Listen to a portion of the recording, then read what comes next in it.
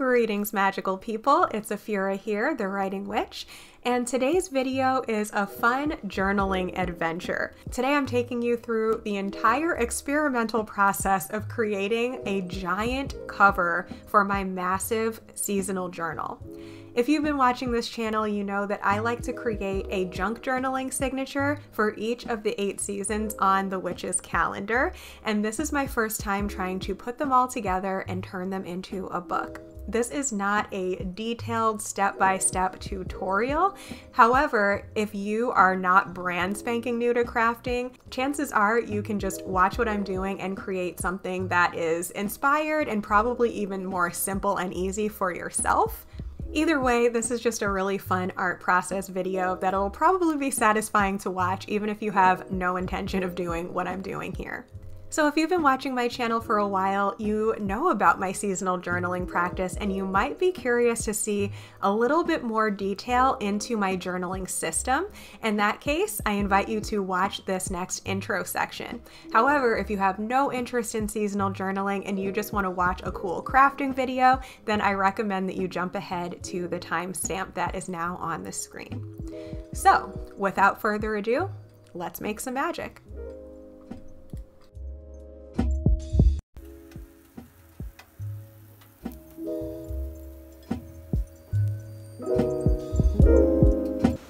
Greetings, magical people. It's Afura here, the Writing Witch. It is first thing in the morning, and I have decided that it's time.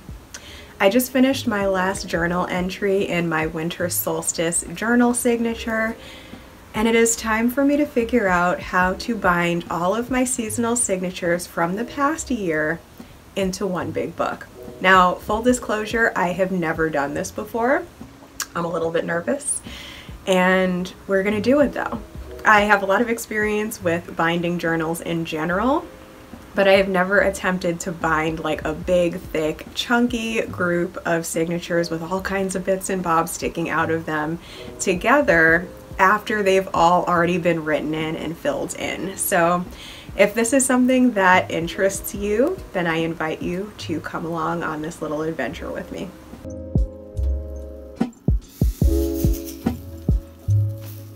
Okay,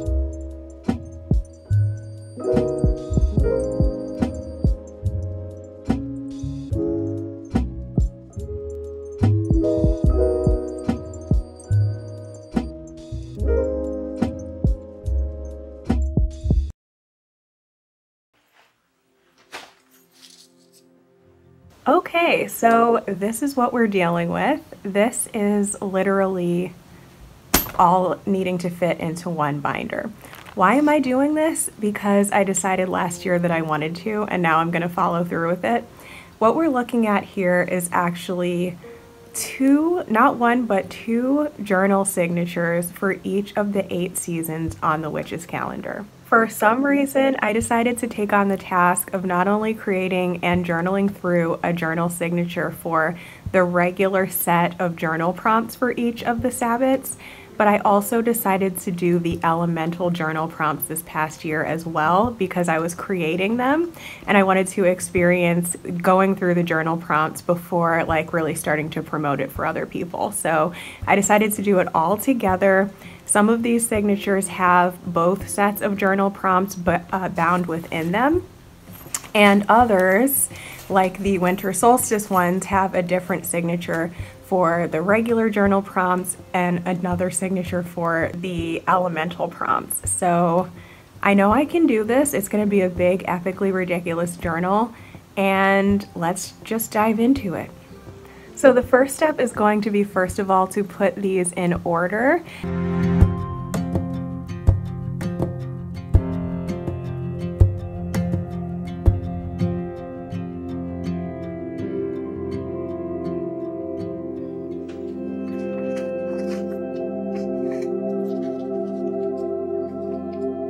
Okay, so I think I have these in order, but let's go ahead and confirm. And this will serve as a little mini show and tell of the system that I have going here so that you understand why I have them in this order.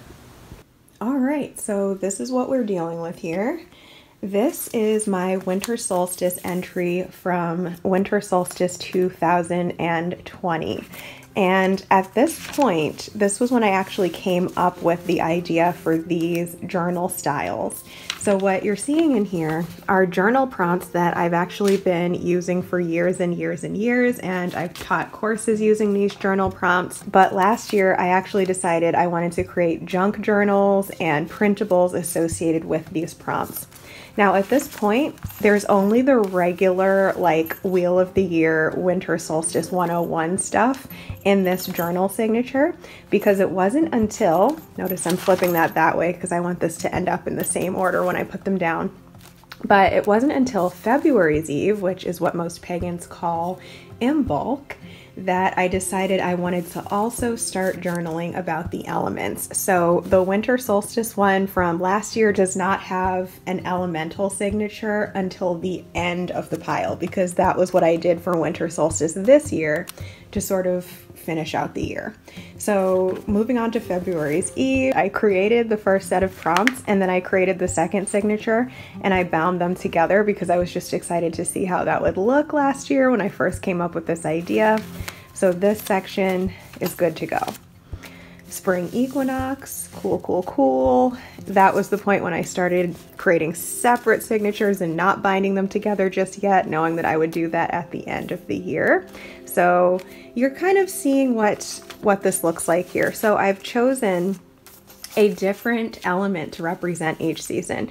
So again, we have the winter solstice. That's the regular winter solstice journaling. At the very bottom here, we'll get to it, is winter solstice air element. So February's Eve being the cross quarter point between the winter solstice and the spring equinox would be the cross between two elements. And I chose for spring equinox, I had chose water. And so therefore the elemental focus for February's Eve was air slash water. So you see where we're going with this, right? So we've got the regular spring equinox journal prompts, the spring equinox water specific journal prompts, then we move on to regular May's Eve journal. And then we look at May's Eve as the cross between water and fire. Summer solstice, which I chose to represent fire. August Eve, and then August Eve, which I represented as fire slash earth. Autumn equinox, autumn equinox as the earth element, November's Eve. And I think this is another twofer where I put them both together. Yep, so November's Eve was the representation of air crossed with earth. For some reason, I also put those together already. And then finally, we get to the one that I just finished journaling in, and that is the winter solstice represented by air. So that is the system, and now I just need to keep them in this order as I bind them together into a massive book.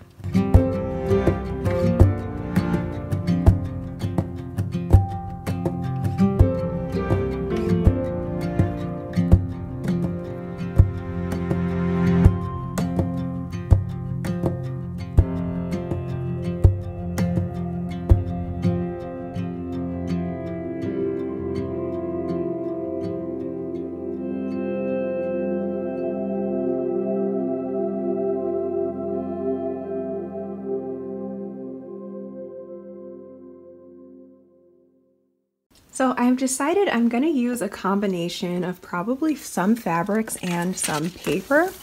So as you can see here, I have color coordinated bags of supplies on hangers here. And this one here has blue stuff, so I'm gonna grab that. And then I also have this pile of different blue fabrics that I might wish to choose from as I am playing with this. All right, so I've narrowed it down to some materials here. I think I'm going to use this shiny cardstock here, which actually is the packaging for some other paper, but the packaging itself was really cool. So I kept that. I mean, this is going to be, this is a junk journal, so a lot of the items are just upcycled things. This was some actual cardstock that I don't know if you can see, it has a little bit of a texture to it. I think this is what I'm going to use for the inside of the cover, and this is what I'm going to use for the outside of the cover. And then each one of these pieces of cardboard, I'm just going to line it kind of, kind of like that. I'm gonna line it around the edges with a piece of fabric and then these will go over the fabric. So I've got a couple of piece of pieces of fabric that I'm considering here. And then I'm also considering this one here, which has pretty much the color scheme I'm going for, this sort of like blue and gold with a little bit of like neutral, naturey sort of vibes going on in it. There's not a lot of this though, so I would have to be very careful about how I divided this up to make sure that I have enough. Um, let's see what I end up doing. And of course Mowgli has found my pile of fabric and is very much going to sit here while I work.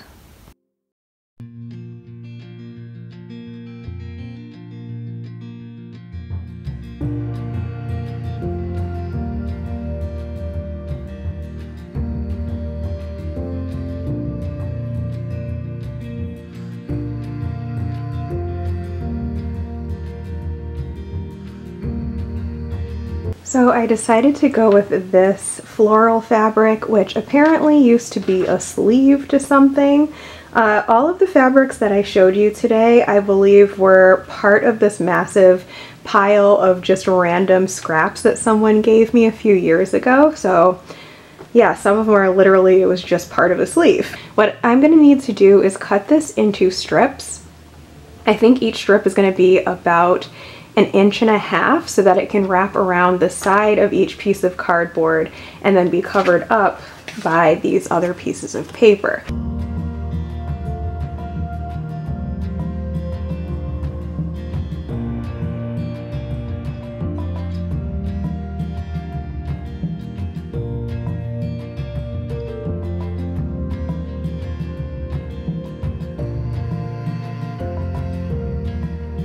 All right, so we've got our fabrics uh, strips here and my next step is just going to be to line the edges of the cardboard with the fabric. So I guess I'm going to start with one of the neatest pieces I have here and I'm going to put it along this long edge and see how that goes. So I think to be smart instead of hasty, I'm gonna actually measure. Since I did make it an inch and a half, let's try and mark on here where the center of that would be or what half of that would be on each side. So three quarters of an inch, which would be right there.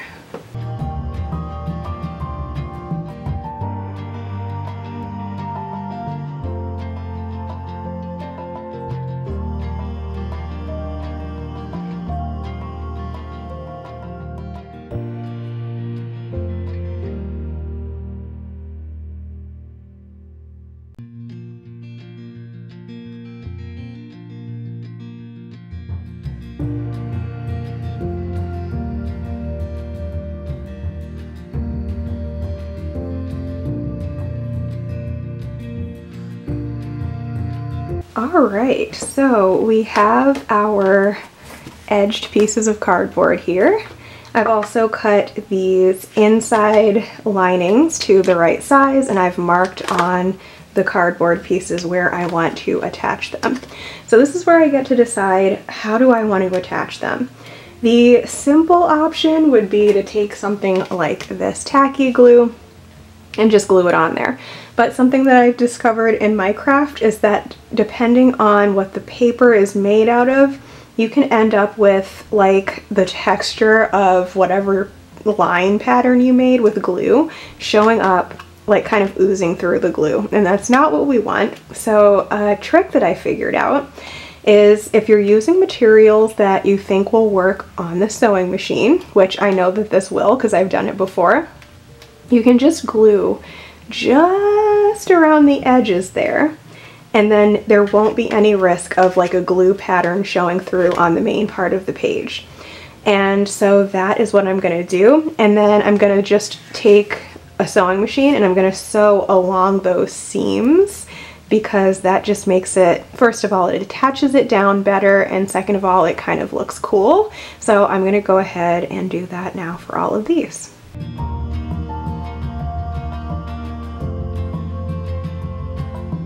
So now that this is glued on, I'm just gonna put like a heavy book on top of this to make sure that it stays pressed down in a flat position while it's drying for the next few minutes.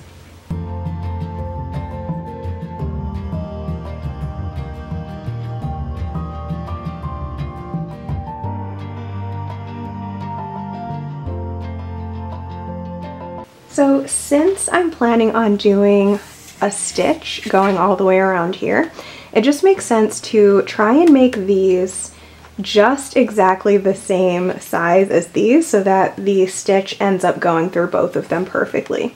So they're already pretty similar, but I'm just gonna measure this out kind of roughly here just to make sure it is really, really close to the same size.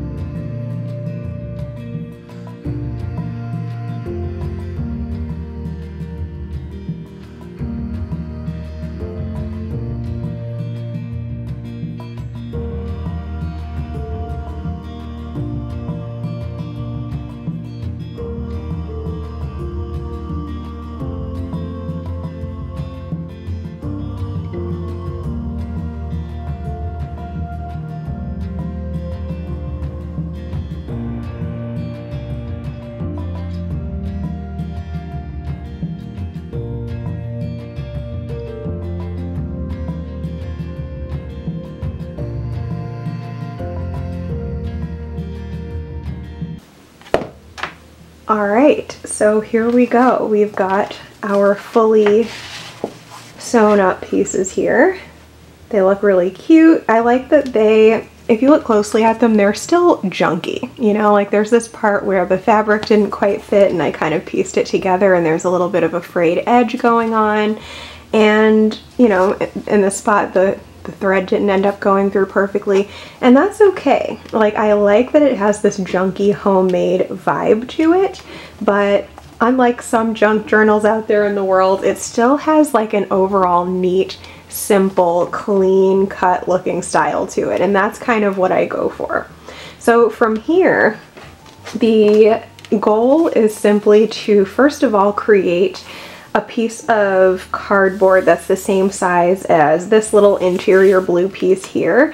That is what I'm going to be sewing the journal signatures onto and then I'm going to glue that onto here. The other thing that's going to need to happen is I'm going to need to take some piece of fabric or something to connect these seams together right here so that this becomes a connected book. Okay, so I've gone through my stuff and I've decided I'm going to use this gold ribbon as the connecting fabric between the pieces of the cover. I wanted to go with something that's like pretty sturdy because this is going to be a part of the book that like really holds the structure together and it's going to kind of have the most stress on it. This is, admittedly, I would kind of like this to be a little bit thicker and more sturdy, but it's pretty darn thick and sturdy for a ribbon.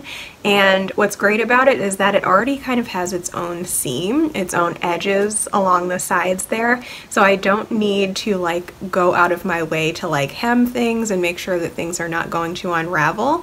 So let's see how this works.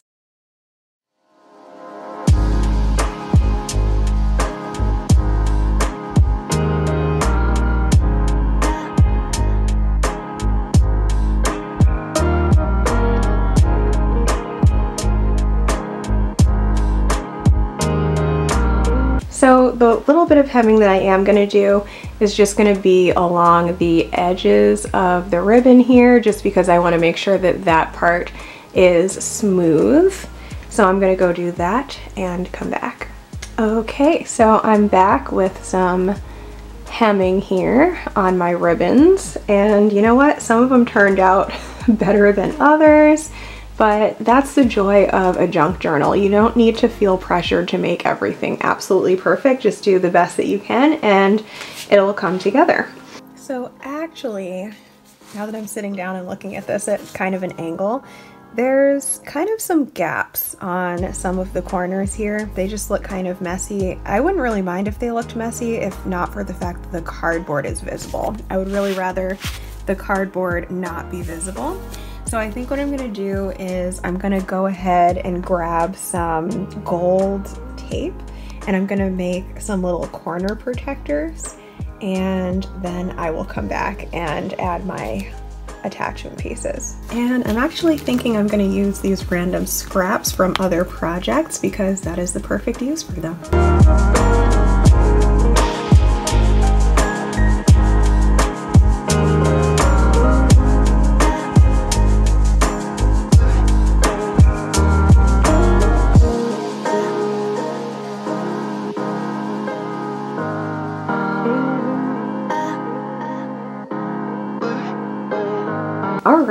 So we've got our corner protectors. They're just made out of scrap pieces of tape. Better for the environment to use up as much of these like plasticky materials as possible instead of throwing them into a landfill.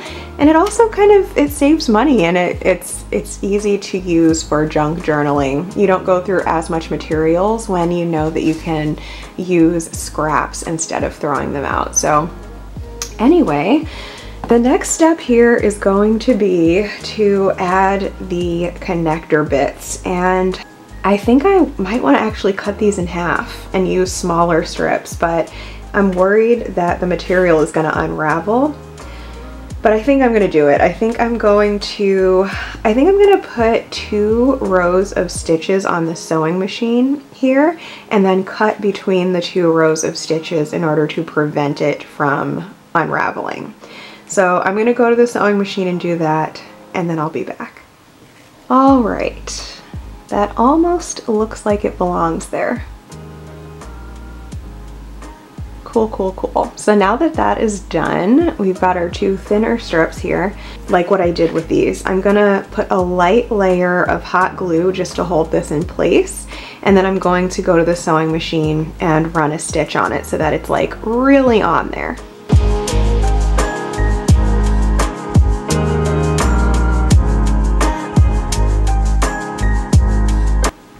So what I'm doing here is I'm putting the thin layer of hot glue kind of in the middle of this area of fabric, like not too close to the edge of the cardboard and not too close to the edge of the decorative paper because that's where the stitching is going to go and I want to avoid having hot glue where I'm going to be trying to sew.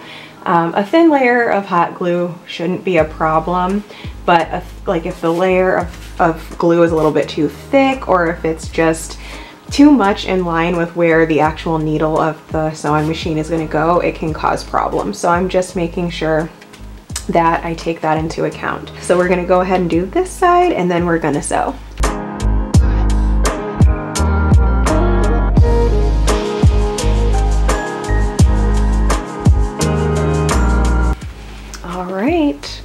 We've just about got ourselves a giant book cover.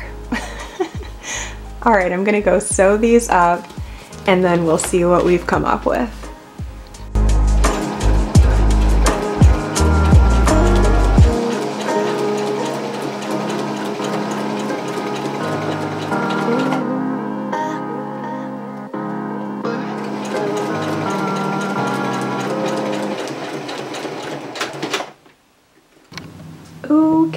So the sewing was an epic fail.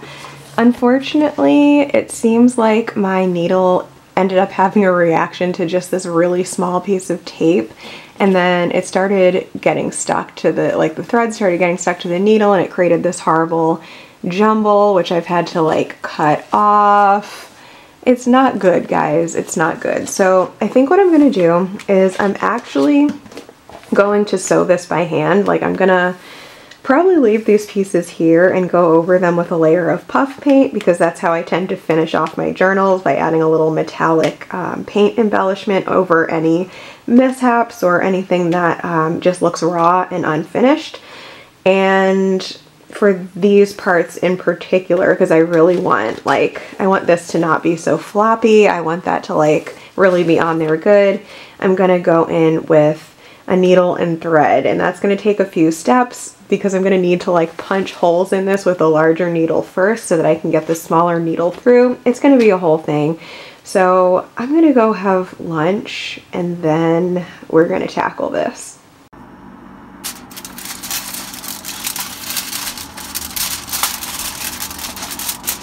Ah, glorious leftovers.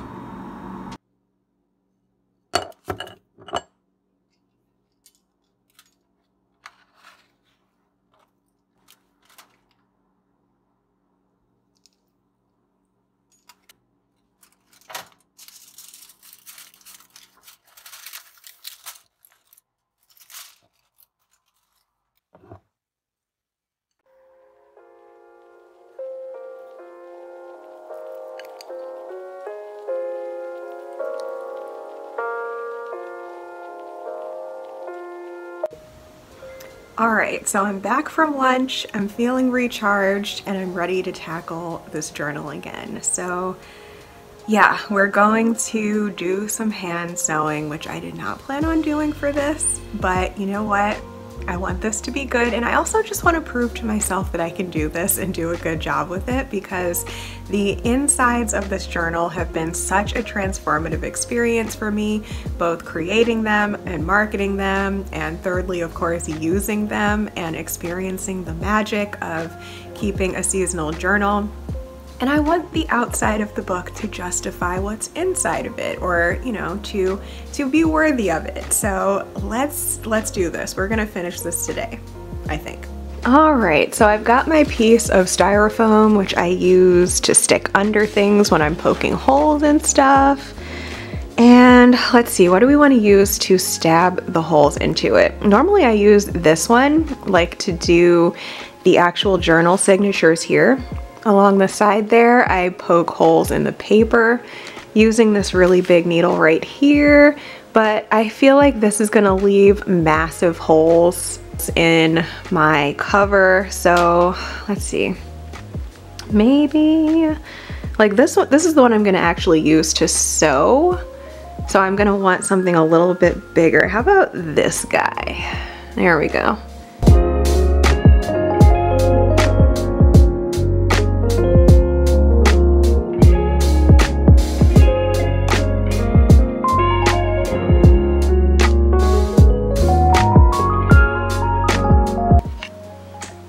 So that took a really long time and it was tedious, so I wanted to kind of hunch over it and not worry about whether or not the camera was picking it up. But if you look closely, you can see like every two of the sewing machine stitches that worked for some reason on this section but nowhere else, uh, I decided to punch a bigger hole. And then I did another row along here. So now I'm just gonna take a needle and thread and I'm gonna go along here, loop around, go all the way back and then we'll come back.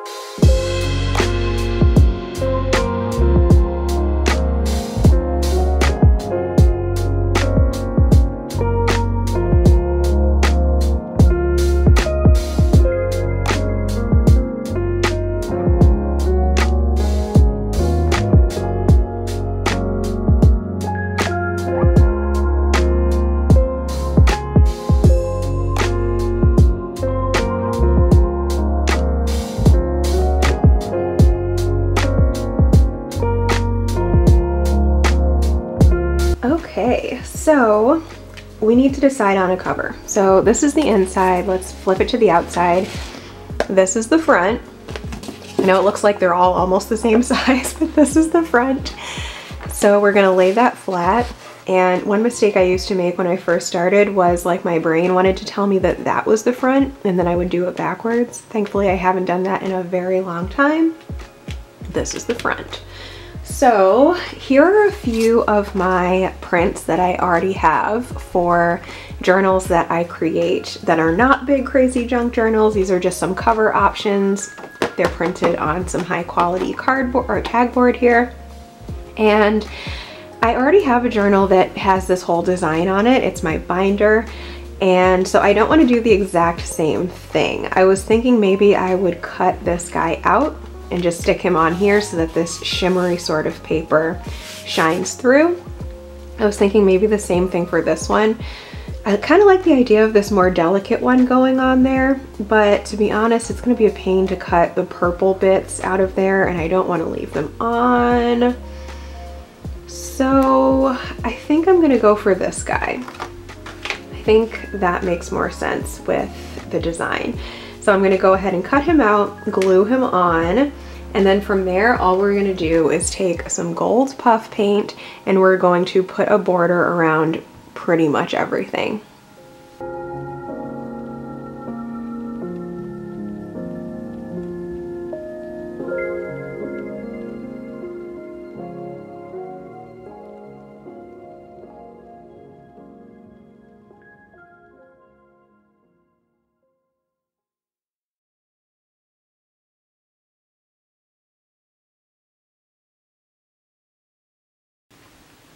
All right, there we go. We've got our little sun guy here. We're not going to use this stuff, but I am, again, this is this is junk journal haven in here. So we are going to, of course, save this and possibly use parts of it for something else in the future. I'm just going to stick this into, I guess, my blue bag, my bag of blue stuff, and we'll see what happens. All right, so this guy is going to go here. I am going to be a good smart person and find at least find the center of this so that I have a good idea of whether or not that is centered. I would like it to be centered. So, or would I like to would I like it to be up and have some kind of title there? Hmm, I don't know. It's a good question. I think I might put some text there. So never mind, I'm not going to measure. I'm just going to decide where I want that to go and glue it down.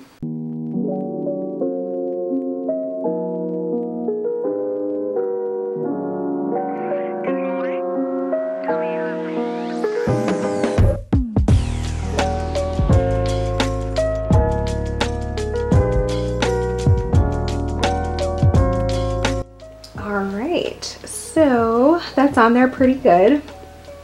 I think I might just write literally 2021 on here because ultimately, even though I don't want them to be that tall ever again, I think I'm going to have some form of a seasonal journal situation happening every year. So it'll be cute to just have the title of the year right on front of each one.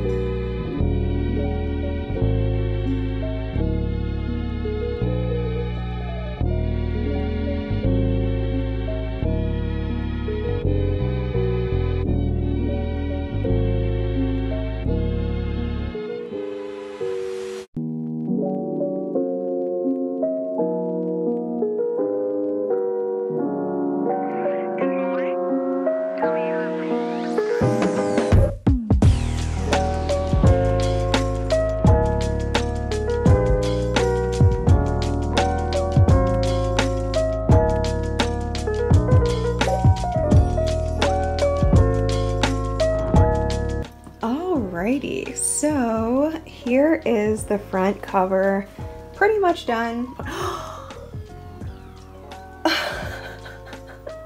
Why did I put 2000? Oh my gosh, I'm literally losing my mind. All right, so I'm not done. I have to fix that while the paint is still wet, so it says 2021. I'm really not sure why I put 2000. I'm gonna go psychoanalyze myself now, but this is pretty much what this is gonna look like until tomorrow. I like to let this paint dry overnight before flipping it over and doing anything to the back. But the plan for tomorrow is going to be to simply do the exact same thing to the other side that I did to this side, minus all of the decor. I will come back to you tomorrow with this dry and with that saying 2021. Seriously, what the heck?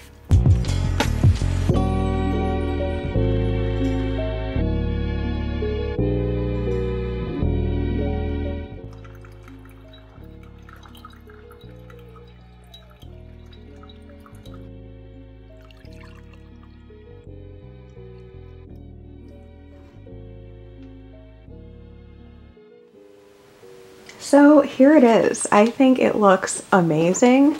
I'm really sad that I messed that part up. You can kind of tell it just, it's obvious that something happened there.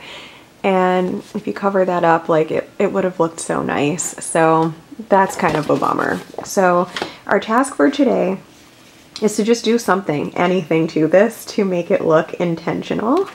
And then Supposing that doesn't involve puff paint, which takes forever to dry, then I will be able to flip it over and just do the same sort of puff paint border situation around here, finishing off like those corners. You can like drastically see the difference between like how cool that looks versus how much like a piece of tape that looks. So the puff paint really is the finishing touch. So I'm gonna do that today. And I'm going to tackle that pile. Here we go.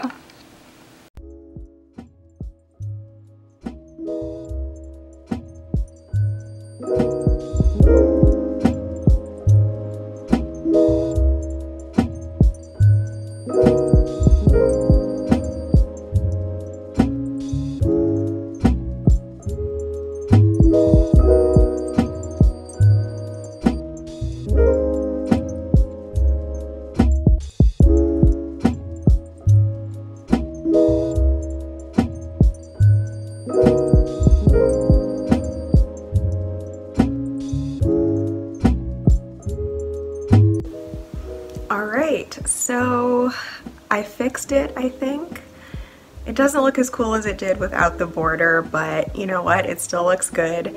And the bad news is I did end up using puff paint, which means this is gonna be pretty much out of commission for at least the next few hours. I may cheat a little bit and just gently flip it over and do the painting on the back some point this evening. But in the meantime, we're gonna go ahead and tackle the pages.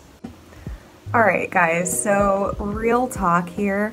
I do not want anyone to do this. Like, this is clearly out of control. There's one, two, three, four, five, six, seven, eight, nine, nine, 10, 11, 12, 13 large signatures here. And ultimately, my program, Your Book of Seasons, is designed for you to A, skip all of this and just print binder pages that you can just hole punch and stick in a binder in chronological order and not be a crazy junk journaler at all. Or to make signatures like these, but to make like, let's, let's show a reasonable size. This one is a reasonable size. Make, uh, literally, the idea is for you to make eight signatures this size for any one year, which would have you at a very normal size journal. It would probably be smaller than like the normal journals that I sell in my shop. But because it's me, I decided to go super crazy and I decided to make the massive book of craziness. So this video is kind of just going to be um, almost an example of what not to do, but at the same time, I'm going to show you that if I can do this with this absolutely absurd stack of pages, it'll be so much easier to do if you don't go nuts like I did. So I've got this piece of cardstock here. This is identical to the cardstock that is on the inside cover of the book. And this is already about the right height, so I'm gonna go ahead and just measure four, measure four inches wide.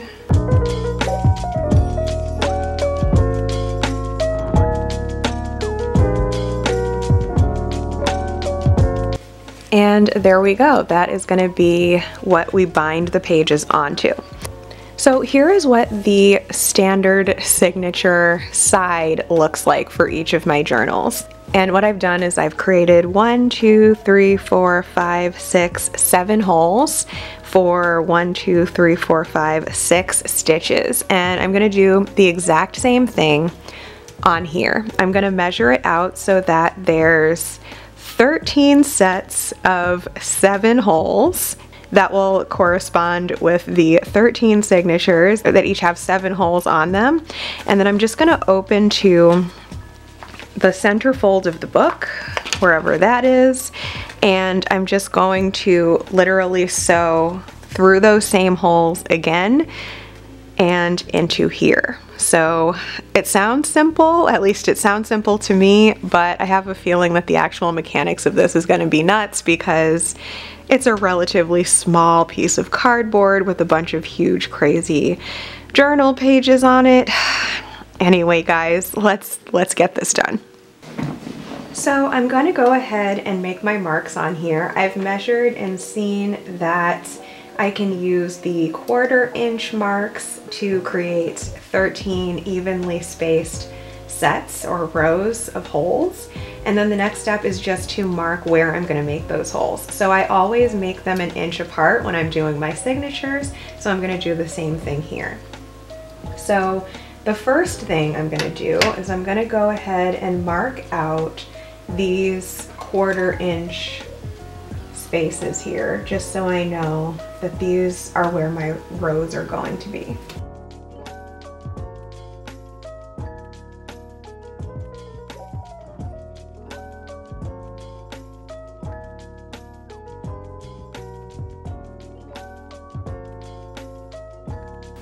All right, so we've got our lines. Now I just need to measure out inch spaces, seven inch spaces. So start with this first one here. And overall this is just a little bit bigger than eight inches. So I'm just going to center that, center the ruler. And then we will mark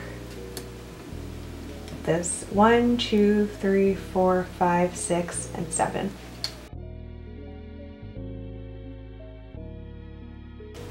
So there are our lines and I'm just gonna do the exact same thing to each of the other rows.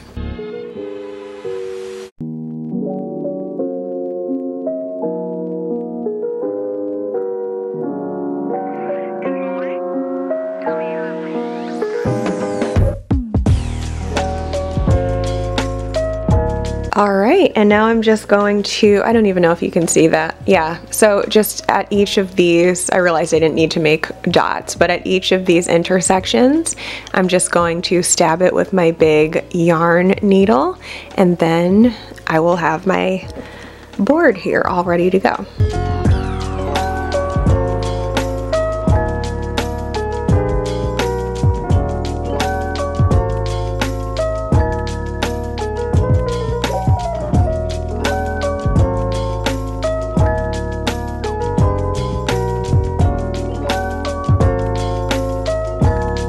So now I'm just gonna do the simple and hopefully easy task of attaching each journal signature. So one signature will go there, one will go there, and so on.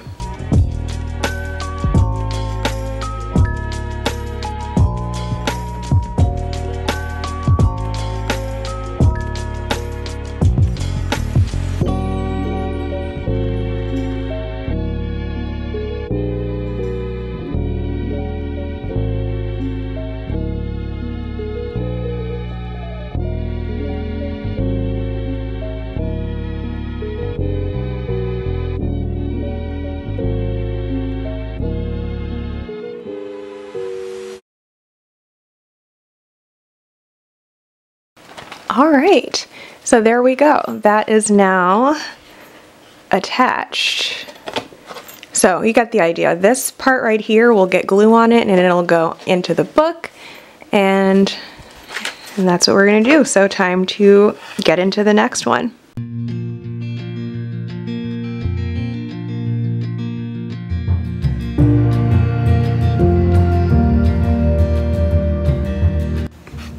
Right, so I'm not filming every part of this because I would just, I'd be filming forever and I'd have way too much footage to deal with, but we have made the second row. So now we have winter solstice and then we have the February's Eve section both bound in.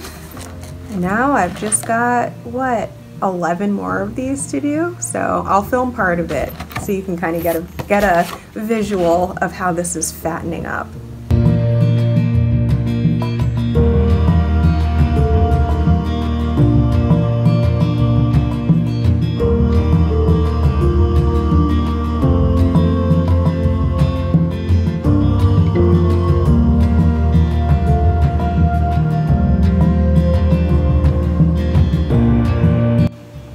All right, three down and 10 to go. Would you like that, jingles?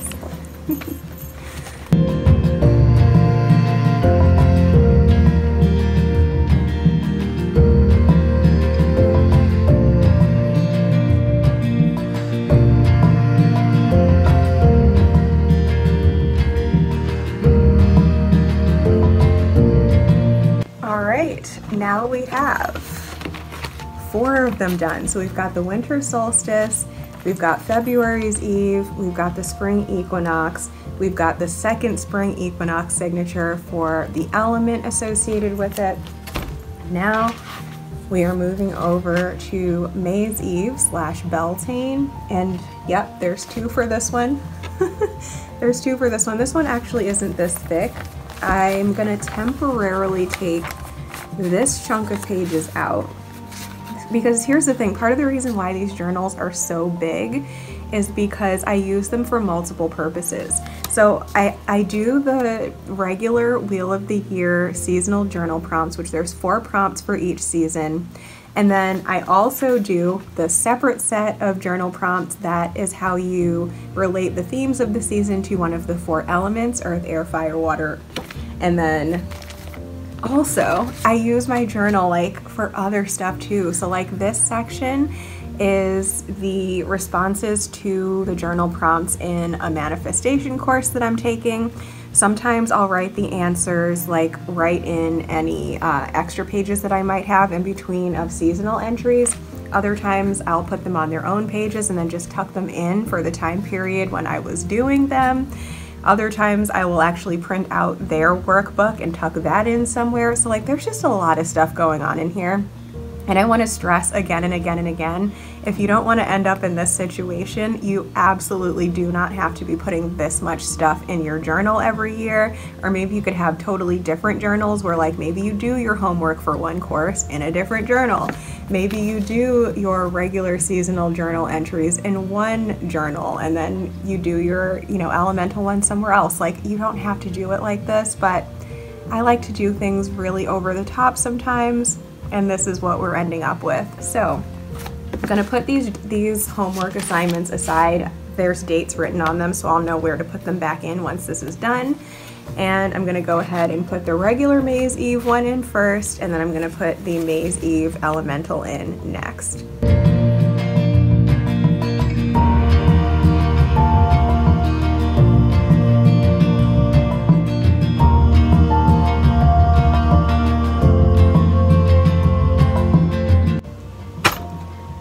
Six down and seven to go.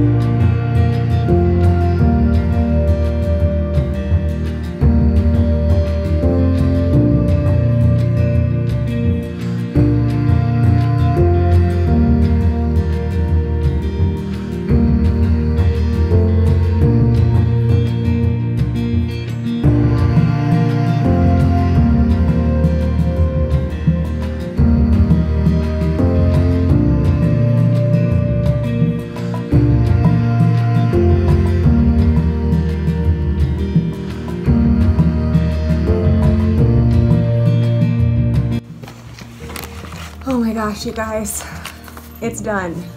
It's done. It's done. It's done. It's done. So, uh, this was this was a lot. Um, I ended up realizing that originally I counted 14 rows and then I recounted before putting the holes in and I counted 13 ro rows the second time. Come to find out it was 14 rows so now it's like smaller on this side than it is on that side because I had to add an extra row.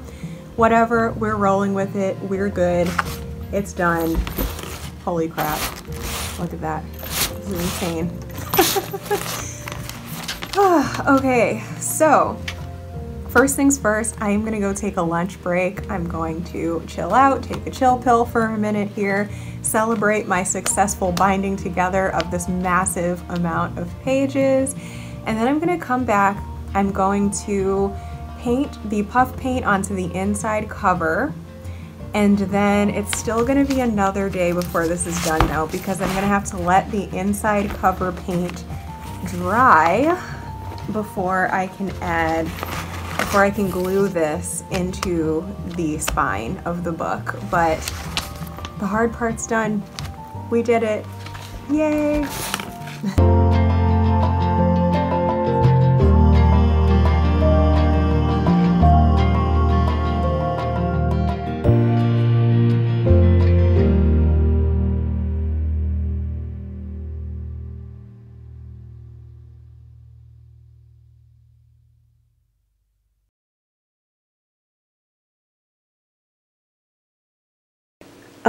my gosh, you guys, it's done. And by done, I mean the cover is done, the bound together signatures are done, this paint is wet. That actually looks really cool. I'm happy with the way this all came together. Other than that screw up I did on the front cover, I think this is really beautiful. And I love that I've used the gold puff paint along with the gold uh, ribbon here. It also kind of brings out the sort of what did look like greens in the fabric look are looking more golds now, which is good because like green wasn't really what I was going for for this cover, but I was okay with it because within the seasons we have pretty much every co every color. But yeah, I'm loving this. I'm excited about it. I'm gonna let this dry overnight and tomorrow the final step is just to come back and glue that right there. All right, so here we go. We have the finished cover.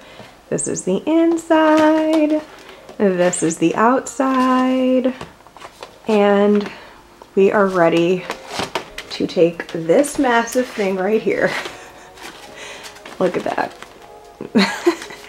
now all we have to do is get some kind of glue onto here and stick it onto there. So ultimately I would like to use a really strong super, uh, I would like to use a really strong hot glue on here.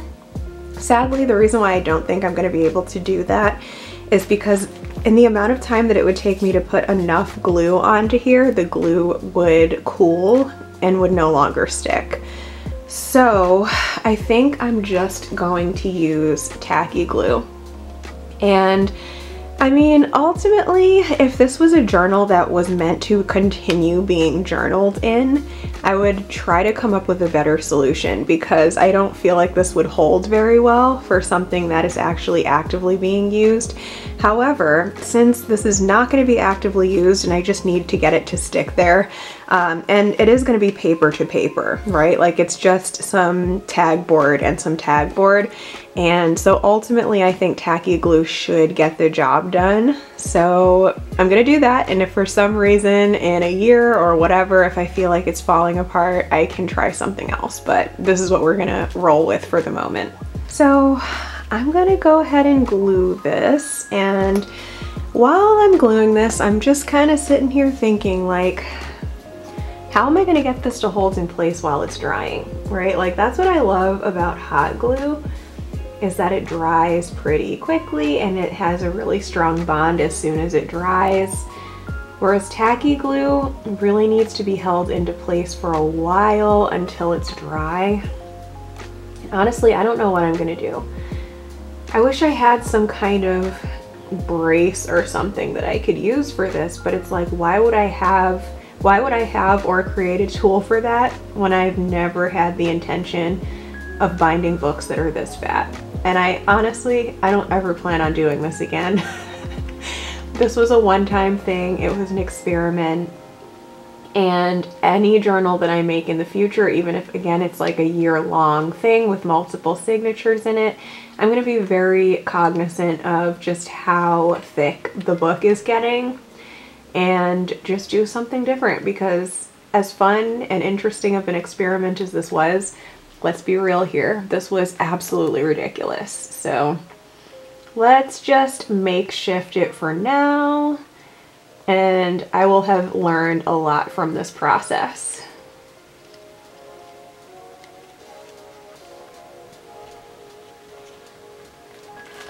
All right, very, uh, very technical and professional there. Some rows of tacky glue.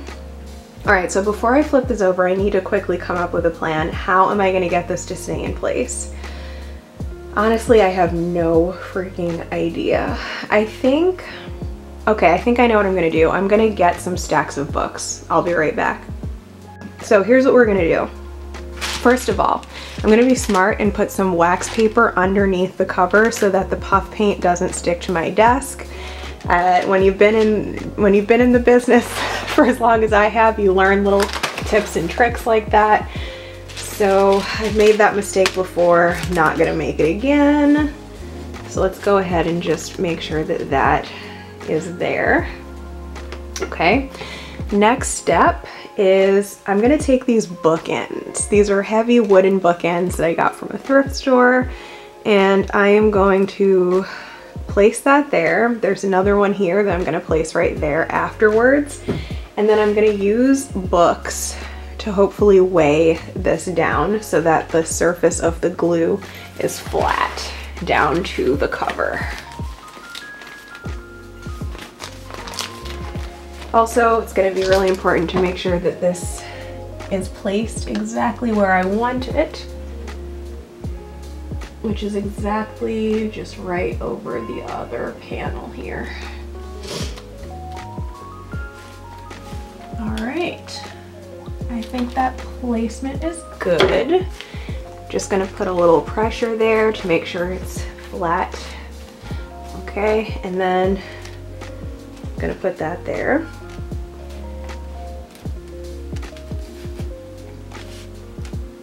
All right. All right, that was actually pretty, pretty successful. And then just to make sure that like this really presses down and the glue adheses, I'm just gonna put a stack of books on top, just like that. And there we go. That is what we're dealing with.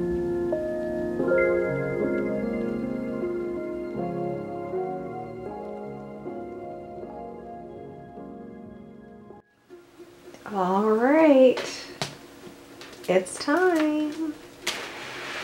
We're gonna take this crazy contraption and take it apart.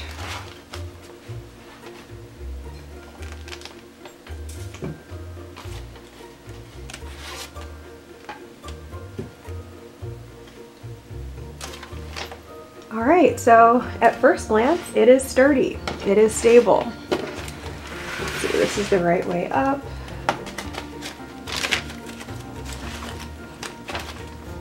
Just gonna examine my work here a little bit. I mean, it's on there. It's, I, I doubt that would really go anywhere, especially knowing that this is relatively fragile and that I'm not gonna be beating this thing up. Like, I think we're good.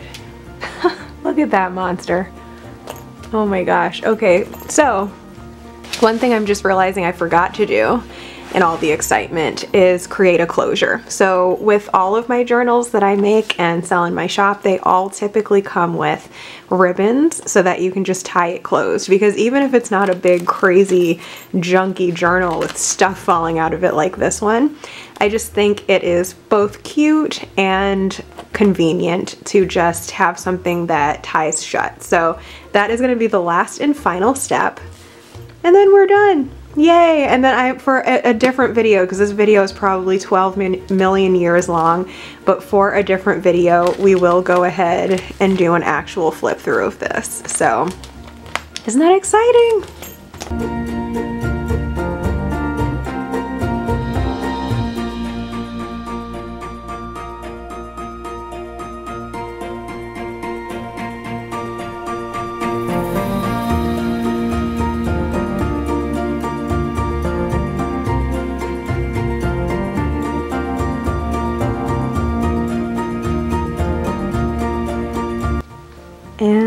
There it is. It's the biggest, craziest journal ever.